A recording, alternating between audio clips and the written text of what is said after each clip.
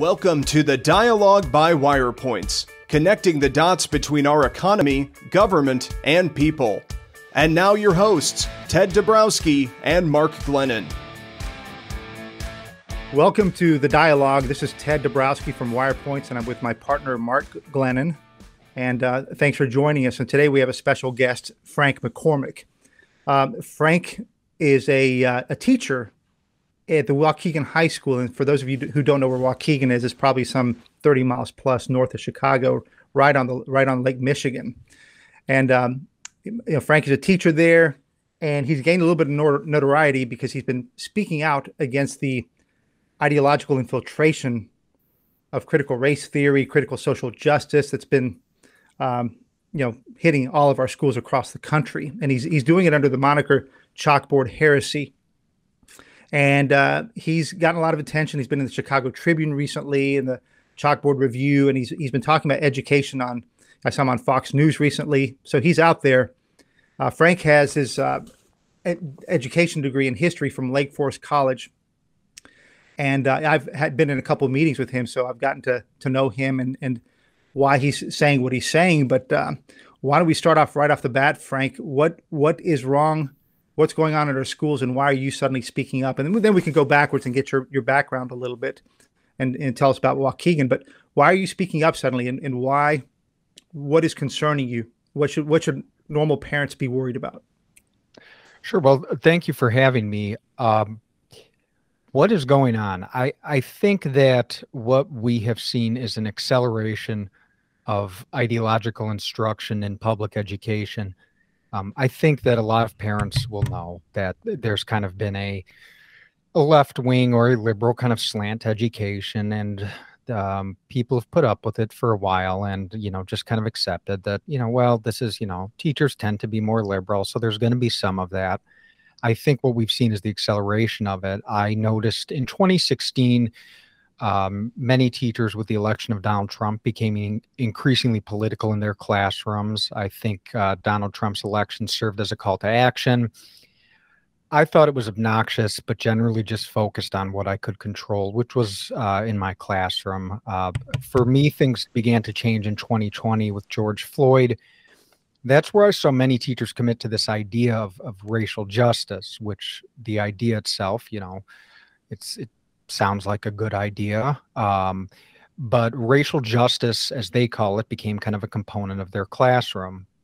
And what kind of struck me was I was watching as most Americans were as kind of you know violence was hitting our streets and this this wasn't just the protest this was you know the violence where you saw calls to revolution and you saw acts of destruction and blood red paint splattered across you know uh, statues of Abraham Lincoln or Thomas Jefferson or George Washington and young people calling for revolution.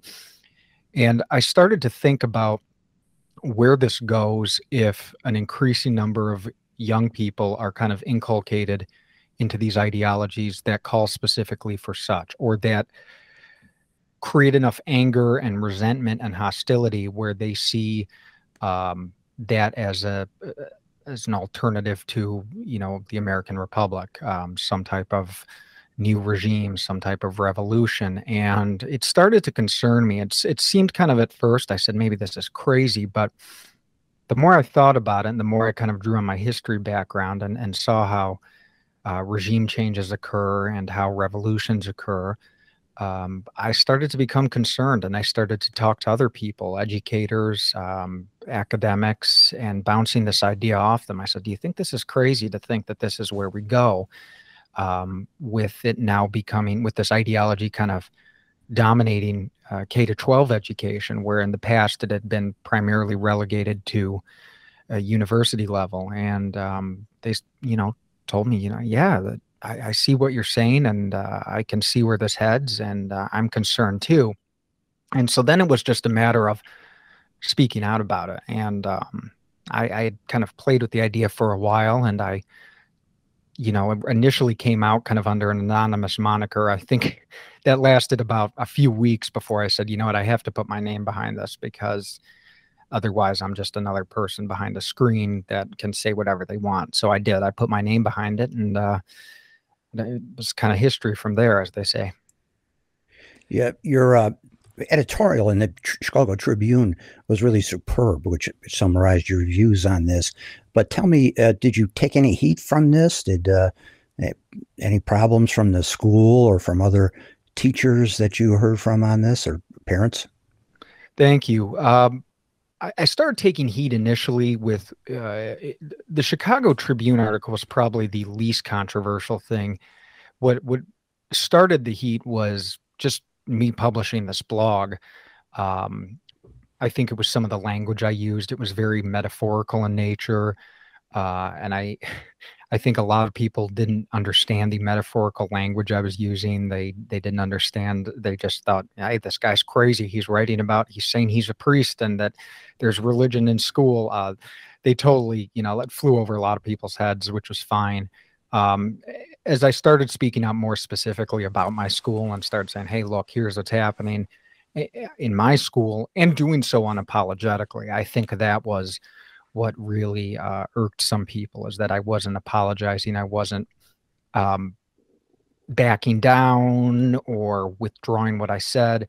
I was actually very intent on speaking unfiltered and sometimes saying provocative, controversial things and, and just saying, yeah, I'm, I'm sticking by this and um, I'm not apologizing and uh, defending my right to freedom of speech uh, that exists for left leaning teachers. Did it did it go to the extent of jeopardizing your job position, or did you fear for that at all? It's funny. Uh, it, it has and it hasn't. So there's there's definitely been moves on their part to kind of uh, what I've what I've called lining up their shot, um, which is what I think they've been doing. But they've been also cautious at the same time, and I believe that was because of how I did things. I made a calculated decision early on to come at this very loud, very fast, and very hard. And I, I, call it kind of the, you know, for those that remember, you know, Donald Rumsfeld back in 2003 in the Iraq War, a shock and awe, which was kind of a take on, you know, blitzkrieg, which is where you go, you know, lightning war. You just overwhelm them with more than they can kind of take and leave them kind of um, a little bit stunned. And I think that's what I did as I very quickly focused on building up an audience. I, I focused on kind of creating a brand for this. Uh, I think people didn't understand at first why is there this kind of brand to it. Well, I wanted it to kind of, I wanted to get publicity because I felt that was the only way that was, uh, or the only way to protect myself was that if I had some uh, following on social media. If I if I made it into you know, at the time I didn't know. I think I started off in the first week. I had hundred people following me. I was like, okay, well, it's a start. And uh, you know, but I said, gosh, if I can get this up to a few thousand, and if I can get on some uh, nationally syndicated radio shows and stuff, said I might kind of insulate myself from what they would like to do, which is to make this disappear quietly. And once that wasn't an option for them, I think they kind of had to reckon with me. And so, um, yeah, there's there's been some blowback, but it's been done in a way that uh, that's eh, shows they're a little bit concerned and afraid. I mean, they pulled me into the administrative office, but they were very intent on saying this is non-disciplinary, and they had their attorney do all the speaking. So um, you can read that for how you want. I mean, the, the way I see it is they love to axe me they just can't and so that's the reason they did things the way they did. So i've been thinking about how do you what are the implications of this for other teachers? And you know the optimist in me wants to see it kind of as, as a model like if you're going to do this if you're going to blow the whistle know how to do it. The days of doing it quietly and subtly and with a nice letter to hr and your department chair expressing your concerns are over. They're going to get rid of you you got to go big and you got to go hard because that's the only thing they seem to respond to.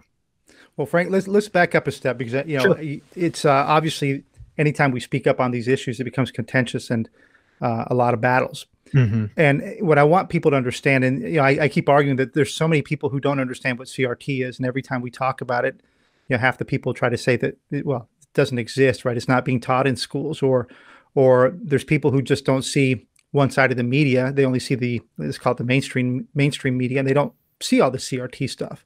So, what is it that you've seen in your school? And you know, let, us let's try to keep it like in, in general understanding for for people who mm-hmm. who don't buy into this, what is it that that you're seeing is being taught, or how's it being taught? What what is what is so bad about it, and what are the examples that that I think if, if a mom or dad understood was going on in their classroom, it would really tick them off. They just don't really know it. So, what is this thing about?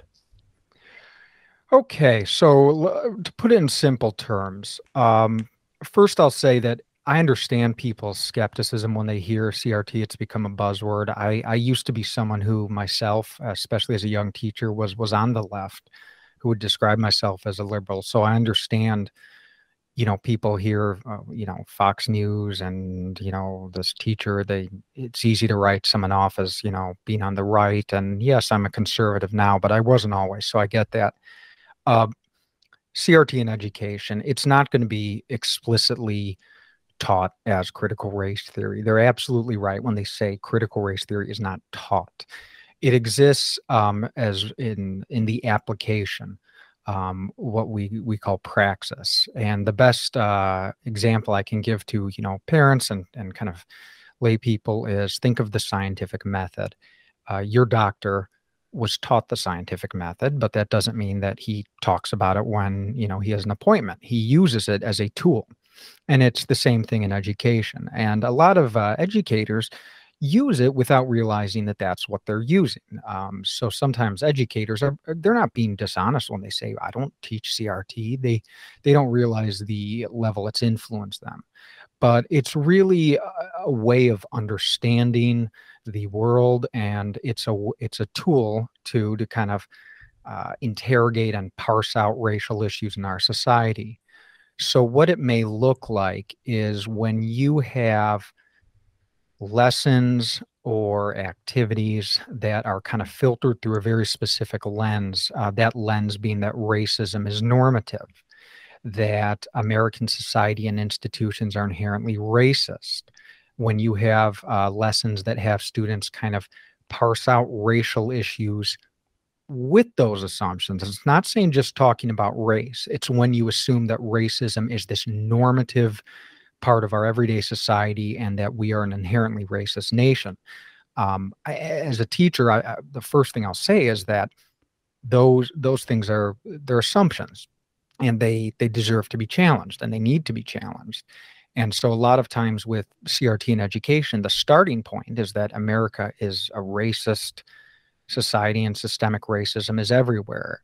And the problem I see with this, uh, uh, especially in education, is that when you're dealing with students, they already are prone to see the world in primary colors. And you're giving them a very reductive worldview where everything can be kind of boiled down to, you know, it's racism. And it kind of fits with them because it explains a lot of things that require more complex um, analyses. Uh, and in terms of the harm I see it causing, it's it's antagonistic.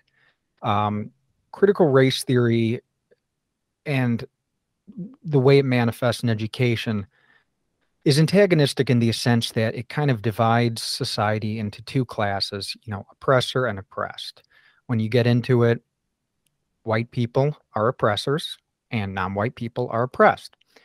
Um, is that specifically mentioned? You know, it depends on you know which which school you're talking about which teacher you're talking about how much they decide to go into this. But i've seen for example lessons in my own school district the one that stood out to me the most was um, a lesson asking students to kind of do an analysis between uh, the police today and confederate slave patrols.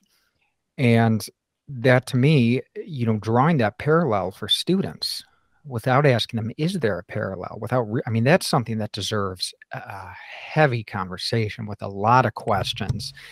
And it was just kind of built in as this assumption that, yeah, there's there's a connection. Now, now prove to us what that connection is.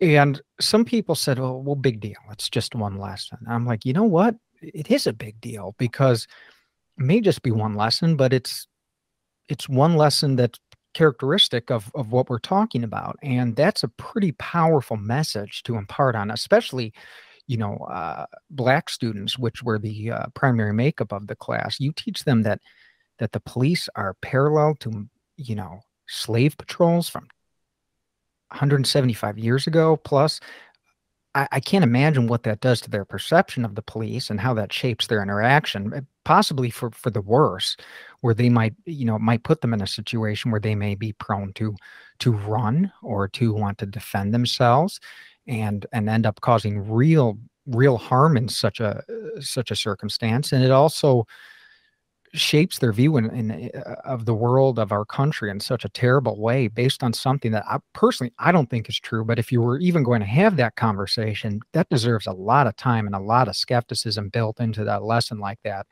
to even make it you know on the table in my classroom at least and you um, have a substantial number of black students at uh, Waukegan High School. It, it's primarily, correct? yeah, it's primarily Hispanic, um, Hispanic and Black. Um, in this class particular, it was it was majority black students. And yeah i i mean i we we we look at like for example when you look at um, the statistics for being unarmed and being shot by police um, if you're black they're actually exceedingly rare. But in the cases where they do happen one of the uh, factors that increases the likelihood of being shot is running. And so that's something that gets left out of the conversation a lot is like do not run do not you know do things that increase that likelihood. And, and then i thought about a lesson like that i'm like my gosh like you're kind of i mean if i were a kid especially black and you're telling me that there's an equivalency between slave patrols and police i'm running.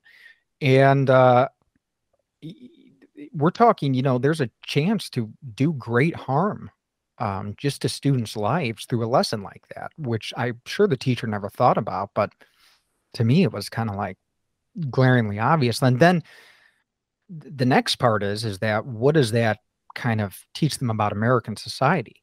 If you have students that are being brought into this view that you know there's these terrible things going on like this, which I think uh, you know it's just ridiculous. But you teach students that, and they're not going to have a very positive view of our society and of our country. And history teaches us that you know when people have these kind of built-in hostilities and resentments and and these feelings of anger and something unleashes them like an economic crisis that it can play out in very tragic ways for the society as a whole. And so i kind of think about not just this lesson but i think what's the cumulative effect? You have enough of these lessons over a period of time with enough students and you're kind of baking radicalism into our society. Uh, how about how about Hispanic students? Because you do have a lot of those at in uh, in Waukegan. Yes, it's it's um, eighty percent. It's eighty percent mark in Waukegan. Eighty percent are Hispanic and thirteen percent are Black. Do you have any sense for what they make of this? They, I would think they're kind of scratching their heads on it. And uh, but what what's the reaction you see there? It's funny. I, I think there's um, there's a little bit of a cultural revolution going on within the Hispanic community because of uh, our school system. I think that you definitely have these kind of uh, forces that are working to radicalize them in some way. Um, the resistance is a little bit greater on their part because they do have a, a more traditional, uh, I would say, conservative culture at home, kind of working against that. But it's it's wearing thin. I've I've heard from a mix, uh, mixture of students. Uh, for I would say some are former students, some are students I didn't have, but they graduated who've reached out to me. Um, some have said, you know, well, I, I kind of support some of this. I believe some of this, and some have said, yeah, this this doesn't sit well with me. What what really stood out to me were some students that uh, these weren't my students, but they had graduated and uh, they said, "Yeah, I'd heard about you, and I want to let you know I went to Waukegan High School." And um, they said, "Yeah, I saw some of this political stuff, and I, I, was too young to know what it was at the time, but it, it makes sense now." And uh, one girl, I'm actually going to be speaking to her next week. She's a former graduate, but she uh, told me that you know er, one of the things that she started to notice impact her life, and it put her, she said, really in a bad place socially and, and I think psychologically was that her her peers started to um, she she's Mexican and but lighter skinned and they started to make derogatory comments about her having lighter skin color. And they start to say things to her like you know you're privileged. You have white privilege and you won't understand racism or prejudice. And at the time she's like what is going on? And you know no one listened to her though. They said there's no indoctrination. There's no agenda. There's none of this and she said when she saw me speaking about this, she felt like, "Whoa, I'm not crazy." And this this was the phenomenon, you know, that I was experiencing. And um, I think having that, you know, that former student voice telling us this is how it affected her and this is what's happening is really powerful. So that's uh, that's just an example.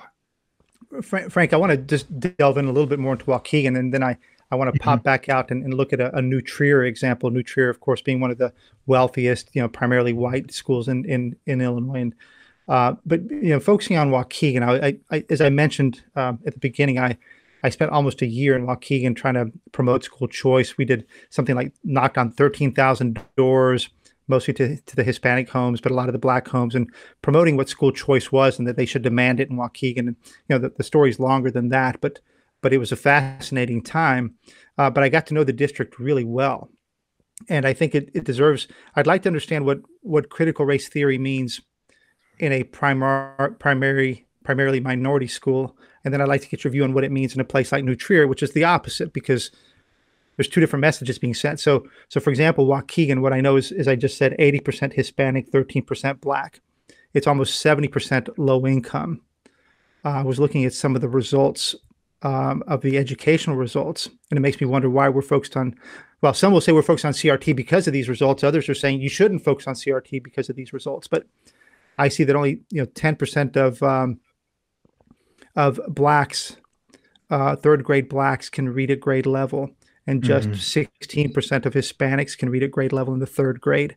And everybody knows that if you can't read in the third grade, if you can't read at grade level and you get pushed through the system, you're going to be in deep, deep trouble and the whole school, by the way, the whole school, including the whites there, um, overall it's 16% can read at grade level in the third grade, and you know, and that continues all the way through. I have the 11th grade numbers here, you know, uh, on the SAT, 11th grade, you know, meet reading requirements. The whole school is like 12%. So, you know, how should we think about? It? I mean, for me, it's crazy, right? Here you have a, a situation where people can't, kids can't perform and yet are we focused on the wrong things or you know they'll argue they're focused on the right things? So how do you how do we how do we take the crt and try to match it up with these horrible results sad sad results? Well i, I think what's what's happening is that um, and, and, they're not using the word crt they're you know the district is using the word uh, diversity, equity, and inclusion, um, regardless of what we call these different things. And there's there's nuance. I mean, these are very oftentimes nebulous terms. I I use the word critical social justice. I think more recently than just CRT because it's more an accurate descriptor. But for the district, from their standpoint, you look at those um, those benchmarks and, and they're abysmal. I think this provides a very convenient excuse for them and I called out the superintendent on this at the board speech. It's now she has a scapegoat, and that scapegoat is systemic racism, white supremacy. Um, in the district emails, they refer to it as white dominant culture. It's all of a sudden not, you know, the bureaucratic and institutional failures. It's not a failure of, um, you know, the the ideology that's been dominant in that school district for decades, which is probably more, you know, left-leaning, critical social justice ideology. Well, it's it's white supremacy, it's systemic racism, and um, the great thing is they can say, well, it's always been there, and we just now we're just identifying it. And what's really convenient about it is when these DEI measures fail, they can just point and say, well, that just means we need more of them because you know we just didn't realize how strong the hold of systemic racism was. I mean it's the ultimate you couldn't think of a better excuse. And bravo to the superintendent for for seizing upon this. I mean really it, it's clever. And um it's i mean it just makes you it, it, it's it's so ingenious. It, it it's it makes you laugh because it, but it works and it'll work for a lot of people too because it'll you know it, it's so it's so reductive and it's explanatory powers it's just like a scapegoat just, for failure they they right. seize, seize on that but um, it, tell me to what extent it comes down from the top by state directive and i'm thinking of two things here first you have a state law mandated training for teachers where i think every public school teacher has to go through racial training. I mean, again, mm-hmm. it's CRT by another name, call it wokeism or whatever you want. And secondly, we have the new culturally responsive teaching and learning standards uh, that they claimed don't dictate content of of class classroom curricula, but we argue clearly do uh, influence it uh, heavily, although perhaps indirectly. Um, is there, in fact, encouragement for this CRT approach coming down from the state? I think there's definitely encouragement. Um, I don't know the degree. I mean, obviously, it being institutionalized through culturally relevant pedagogy um, is a clear sign it's becoming institutionalized. I'm not a big believer in in conspiracy theories when people talk about some you know orchestrated plan. I, I don't necessarily see that. I have called it um, trickle down radicalism, where what's happening is is these ideas are kind of overflowing from uh, higher education. Um, they started kind of in the you know sociology and philosophy departments. It kind of trickled into the education schools, and then they're trickling down into K to 12 and going into students.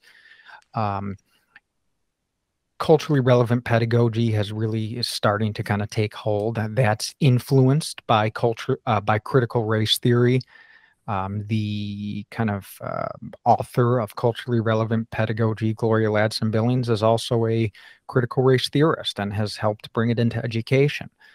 Um, so the the the links are definitely there. Uh, I think the problem is is whenever you engage with someone on this, they'll always say, Yeah, well, but that's not the same. And you're like, You're right. It's not the same thing. Culturally relevant pedagogy is not critical race theory. I don't think that's what anyone's saying, but they're saying they're influenced by the eh, by the same things. They they share the kind of same strands. It's like um, you know, they they're connected to the same at the at the roots and they kind of follow the same source. Sure, it's, uh, it's a little more than, um, in my view, quibbling. Uh, people know it when they see it. You know, they call it woke, wokeism, and uh, you know, we know what the basic elements are. Uh, if you said the primary one being that if you have white skin, you're an oppressor. If mm-hmm. you have mm-hmm. black skin, you're the oppressed. And America is systemically racist, deliberately designed that way. Frank, I'd like to understand how it, how it becomes. So you know, I, I'm sure like all these different schools, they all have these now. These you know, they they they hire very high level administrators to, to push the diversity, equity, inclusion, right? So they have DEI heads and and they start creating teams. What's it like at the Waukegan schools? And and and I'm curious to know how it becomes, you know, part of the curriculum. Not not because, like you said, there's not a CRT curriculum, but uh, you know, I've, I've seen it and I've got examples, and that's one of the examples I want to bring up from New Trier. But you start to see it in the lesson plans, and if not in the lesson plans, in some of the classes where, you know, even in physics or any class, it's introduced. So what what do you see, and um, you know how how how is it making its way through class to class and teacher to teacher? So it's coming in. Um, I think at Waukegan High School, we'll, I'll use as the example uh, two ways. You have it coming in organically through teachers, and this is just oftentimes through their own biases, through their own kind of political inclinations uh, how they bring it into the classroom because they feel a calling to do so. And I think people actually underestimate that. They always want to look uh, for some like one central cause as where's this coming from, as if we can, you know, kind of put the clamp on it and that's going to end it. I, I think they underestimate how much of this organically trickles down through teacher education programs. So as teachers, uh, you know, we've getting new teachers in over the years and younger teachers bring it in what they learned from college that's a really big force that I think people have underestimated. You then do have the um, kind of top down model, which is where it's coming in through kind of administrative fiat. And um, we do see that. We have the you know department of uh, equity and inclusion and they are in the process of kind of formalizing these trainings which i think will certainly accelerate things. Um, it just depends though i think depending on what school district you're looking at it depends to which degree which is a stronger force. I think my guess is that in most school districts what's probably going to happen is that you're going to have teachers already doing this to a degree already feel emboldened by it and their school districts once they kind of formally call teachers to do this and give them even more tools and more resources that's where you're going to really see it accelerate because then they're going to have a mandate to do it and they're going to feel really like, well, I've got the backing of my school district, my department chair, and now I have the tools to do it. Um, I think at Waukegan, I think at Waukegan, we are kind of, if anything, limited by, and I hate to say this, but the incompetency of the school district and that they can't really, they haven't been able to get this out as fast as they'd like to, and they haven't been able to provide the tools and resources. I mean, we don't really have, you know, curriculums necessarily for most classes or n- uh, nothing that anyone follows. So a lot of what you've seen is is organic, but I think that's important to to point out because just from what I've been able to see in my school district, these were organically derived lessons from teachers who just kind of had it upon themselves to bring it into their classroom. And a lot of people come to me and they say, you know, hey, Frank, I know this isn't, you know, most teachers don't want to do this or that they're not on board with this. And I'm like, I, I wish, I wish I could agree with you, but, but you're wrong. Um, this is a bigger problem in terms of kind of the, the, the problem, as for lack of better words, than people are willing to admit or to, to look at is that it, it comes from teachers. And uh, I don't know what the solution is, man. Well, you've been wrestling with what the solution is, and tell us what lessons you've learned. Uh, uh, we we too have been fighting this, you know, for several years, starting at New Trier back four years ago now, and, and Ted especially has been involved with New Trier neighbors. But what are the lessons that you're learning from this fight? I mean, one of the primary ones we learned, Ted, is you know, don't back down one inch. You got to be brave, and people are going to call you fascist and racist and everything else. And boy, we got some ugly emails from otherwise proper people uh, at the time when this started off. Uh, that has dissipated, by the way. Maybe that's a, a good sign. Uh, you know, at least there's rational discussion going on sometimes on this. Um, but what lessons have you learned about how to wage this battle? Yeah, I would say uh, agreeing with what you said. Don't back down an inch. Don't give them, don't give them any room. Don't apologize. Once you start apologizing and start backtracking, it's like they have you on your heels, and they're going to use that to go in at you. I'm not saying don't. If you if you legitimately have said something that um, you know you you want to be sorry for, but they'll they'll use anything they can. That's the other thing I was going to say. They they will be ruthless and merciless and we use any weakness they can. Um, th- the big attacks I've had on me have had nothing to do with the substance of my argument. They've all been personal in nature. They've all been attempts to get me to be vulnerable and to back down from that vulnerability. And that caught me off guard a little bit.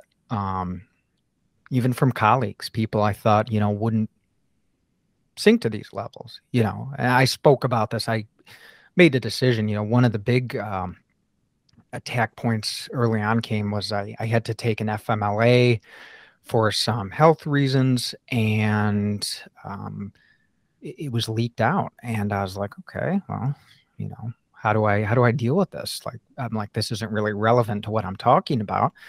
Um, and so i just decided to embrace it. And so and i said yeah i did like that's that's their attack, and I I wanted to use it to a point that was illustrative of how low they're willing to sink, where they're willing to use someone's personal health or something that they have to do eh, to take care of that as a point of attack. And so the other thing is that when they do attack you on these points, lean into them.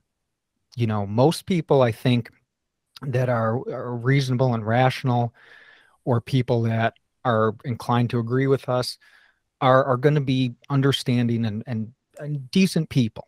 And so generally, you know, when you're worried about why they're attacking you or what they're going to come after you for, if if they find something, you know, you went through divorce, you had a bankruptcy, lean into it.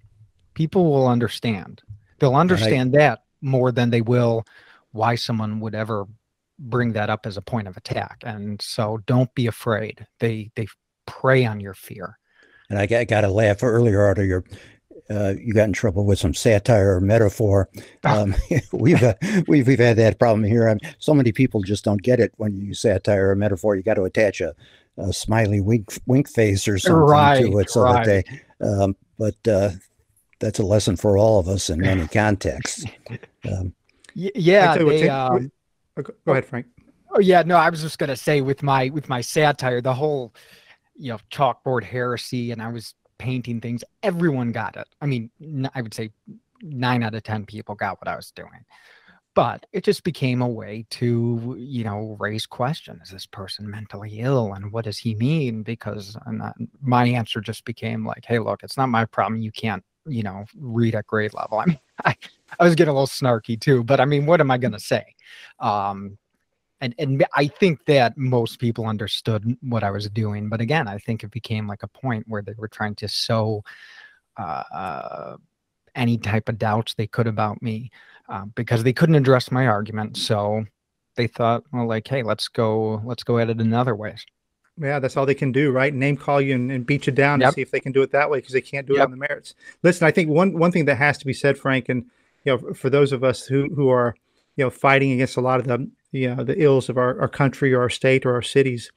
Um, you know a lot of times we do it uh, we write something say something uh, and we don't have to pay the repercussions in the same way that i think you do because you're doing it and you're in the in the school right? You're criticizing the the school and some of the things it's doing and you have to live with your classmates so your your, your students your your your you know teachers your administrators. So kudos to you because you're you're you're doing it in the middle of the in the middle of the storm, I guess I would say. Thank you. I, I appreciate that. It's um yeah, it's eh, you know, I think now people look at it and they'll say, um, and you know, because I've received like job offers and stuff, and they'll say, "Oh, you know, well, yeah, look at you, you benefited from it in some way, before whether it was attention." But early on, I had no clue what was going to happen and what I was doing, and so, um, you know, I, I think when I look at that point and I look back at why I did this, I think it was feeling that something had to be done. And I was worried about where this takes our country. And I saw it as a risk. I said, okay, so there's a risk to my job. And then there's this bigger existential risk to this country I love. And I said, I can wait for other people to do it. I think for a while I was like, you know, when's someone going to talk about this? And no one was. So, said, okay, well, guess it's going to be me. And I talked to my wife, and she was just kind of like, okay, dude, like, good luck. he didn't, you know, she didn't really, she was like, okay, like, you know, I mean, she, she agreed, but she just was like, what can you say when someone says they're going to do this? And I felt like, okay, here we go. And um, I, I found a lot of other people though out there that, that supported me and, and other teachers that had kind of done a similar thing that um, you know, I drew inspiration on, and there was a, a lot of people I was able to connect with. I think finding when you're going to do this, find support. It's out there. You know, I, I encourage teachers that maybe listening to this, or even parents that want to, you know, get involved and speak out. You know, reach out to people like me. I will respond to the, your messages, and a lot of us will, and I'll get you linked into the support networks you need to, uh, you know, make your move. Um, yeah, and there are a lot, lot of national resources out there now too. Um, Teachers Defending Education is one group that comes to mind out of Washington D.C. that provides guidance and and how to resist these things. Oh yeah, uh, parents uh, defending and, uh, yeah. Parents defending education. Yep. And uh, Ruff, Ruffalo, the guy who's written extensively about this, I, I think has had some very good suggestions too for mm-hmm. for how how to tackle these things rhetorically. I mean, uh, you're particularly articulate and a good writer. Um, you know that that helps, and and but uh, you need someone like that at the at the forefront. I, and I just want to interject too. We, we at Wirepoints criticized many teachers. We certainly criticize teachers' unions. We lament the the failures in the schools, but thank God for the good teachers that are out there. And there's just you know we, we all have benefited. My kids have benefited enormously throughout our lives from the benefit provided by good teachers. And uh, uh, you know I just want to say thank you to uh, people like you and the other good teachers that are that are out there, uh, because we know you get dragged into some of these these things that we're not we're not generalizing about all teachers when we make our criticisms. Thank you. I appreciate that, and um, I mean that actually brings me uh, up to something I, I, didn't think about until um, now, but it, it's it's a good point when we talk about good teachers and and so forth. I actually wrote a lot and was very um, forthcoming about how I felt that um, there was a period in, in my profession where I felt like I wasn't a good teacher. And um, now I've had students come forward and say, no, you were a great teacher and stuff. But there were there were years where I felt like I was struggling and I just wasn't being my best. And that's something I've I've re- really wanted to kind of hammer across because the more I've gotten into this kind of fight, I think the system is such a bigger problem than we're willing to admit.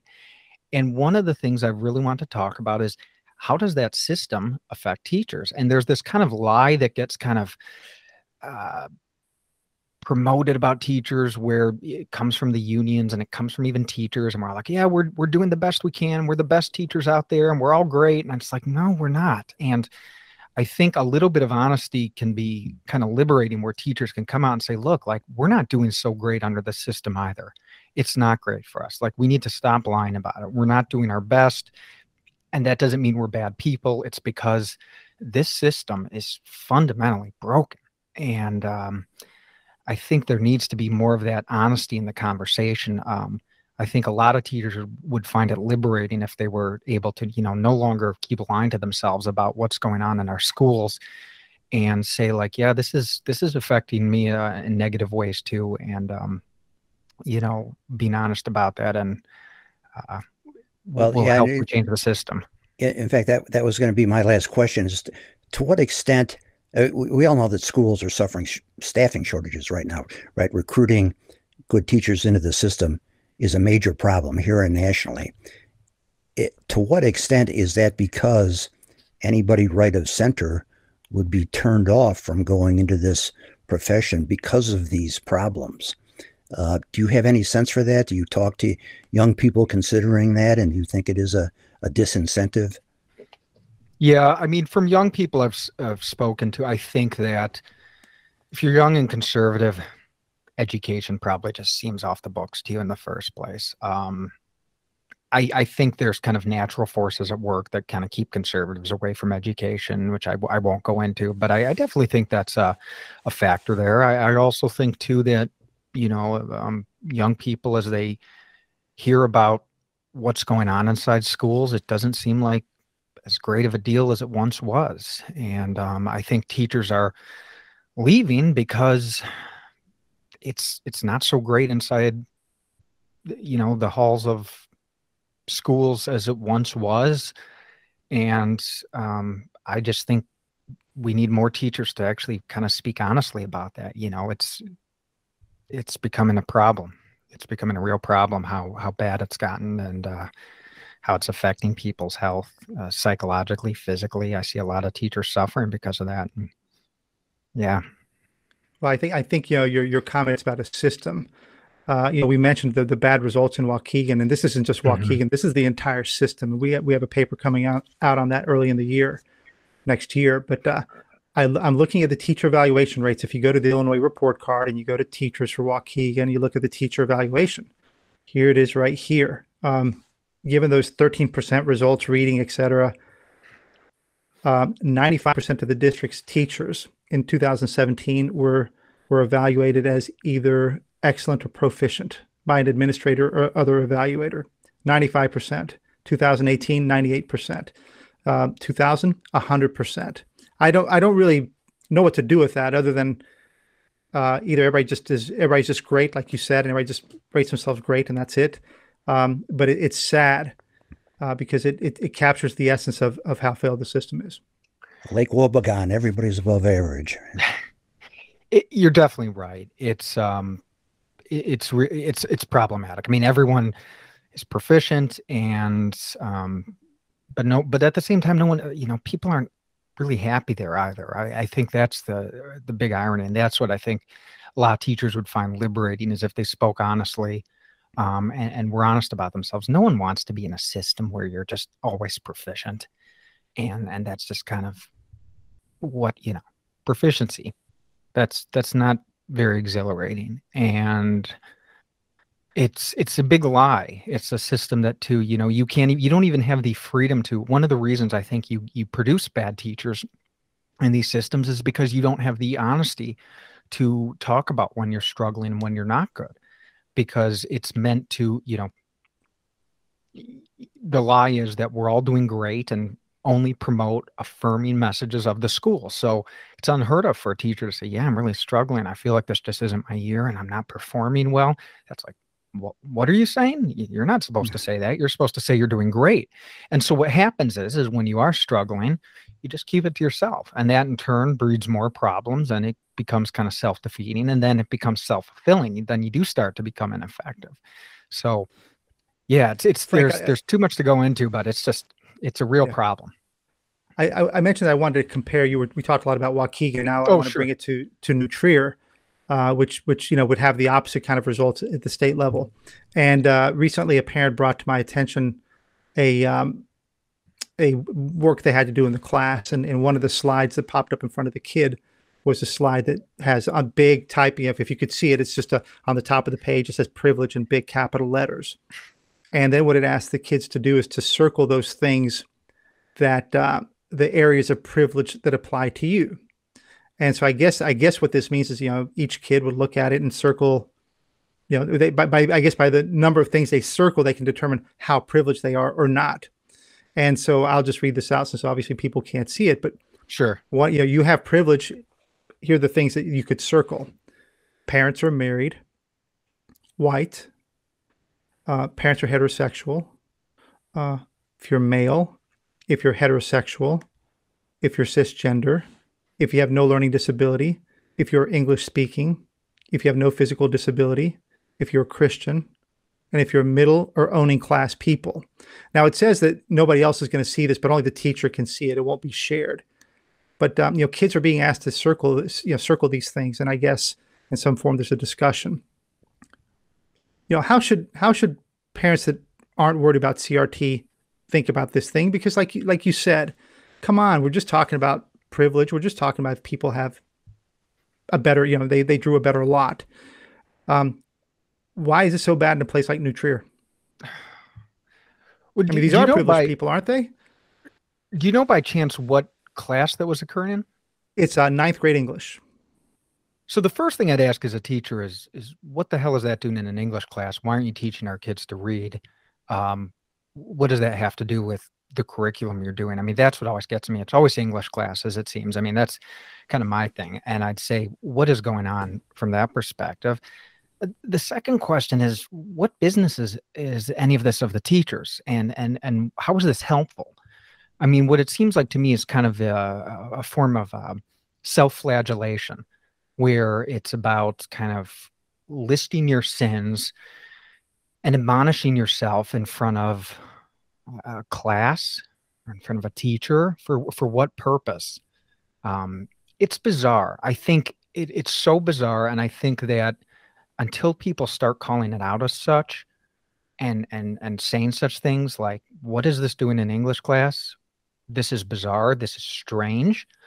Um and why would you do this like what's your purpose i mean i'd really want to hear the teacher defend themselves i think parents should be outraged and, and kind of disgusted. And the first thing someone's going to say about me is they're going to say, well, yeah, that's because you benefit from privilege and all these things. And and there's my problem with this line of thinking is it's so eh, eh, there's so many assumptions built into it. So it does exactly what it purports to be against, which is judge people based on kind of their skin color or their gender. So someone looks at me and they say, well, you must be, you know, because you're white and because you're male, or they assume I'm male. I guess you can't assume that anymore. but they would assume all the, you know, you must have privilege. But they don't know the first thing about me. They don't know that my mother was an immigrant.